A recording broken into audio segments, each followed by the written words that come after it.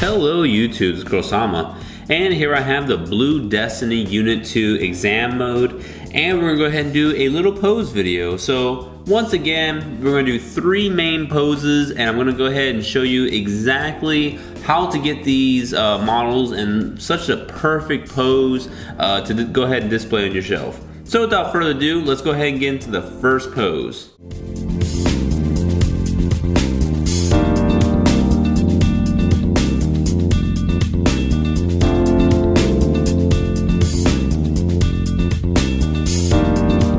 So here we have the first pose, uh, pretty much a dashing pose because this is actually on the cover art of the Unit 3, uh, pretty much him kind of dashing.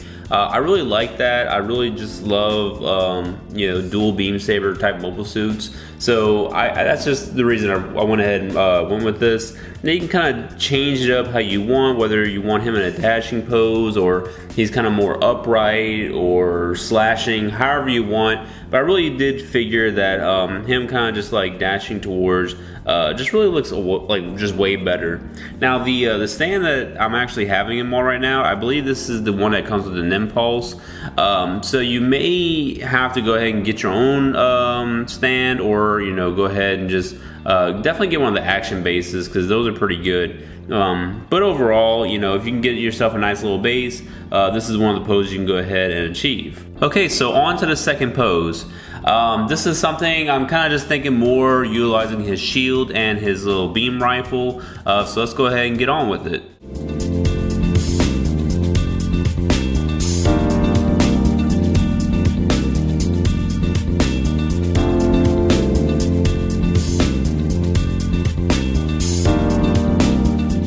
Okay, so here is the second pose.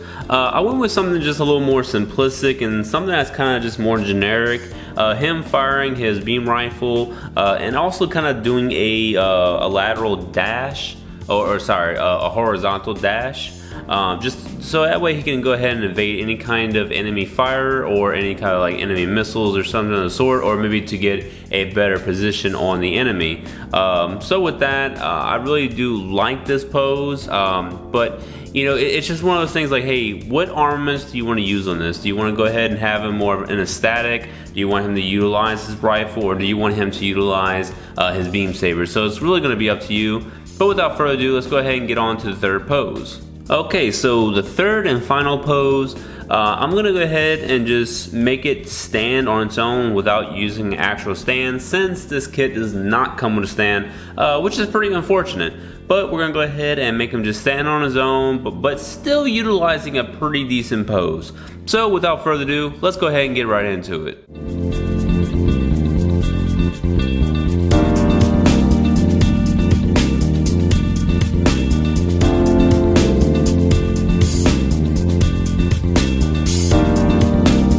Okay, so here's the pose that we have him in. Uh, pretty much this is more like a deflecting pose. So if someone's coming at him and pretty much doing a slash, I would say that he would, you know, come out and just hurry up and try and block as soon as possible. Um, so this is just more of a defending pose if you really like that. It's, this can really be used if you have the Unit 1 or Unit 3 in your arsenal, um, since I think this can pretty much go both ways, whether it was for the Zeon forces or for the uh, Earth Federation, however you want to use it. Uh, but just this one in particular, uh, I think this is pretty dope if you go ahead and use them um, as you know blocking. So I mean, there's plenty of different poses that you can utilize standing up, uh, but this is the one I chose because this is the one I pretty much liked out of all the ones I really tried. But uh, that, guys, um, that's really about it. I really want to do some some better things when it comes to the, uh, the posing videos.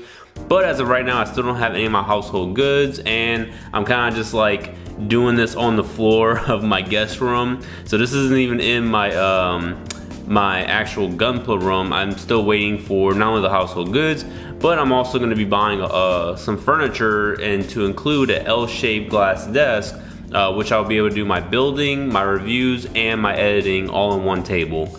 So with that, guys, um, that's pretty much all I have. Thanks for watching. Uh, definitely rate, comment, subscribe, uh, and especially uh, ring that bell if you are already a, uh, a, subscriber and you want to get notified of any kind of new videos that I upload. Uh, but if you're not, definitely subscribe and just definitely uh, stay along with the channel and see how you know the channel grows with more people. And with that, more um, well, pretty much better quality is going to be coming your way.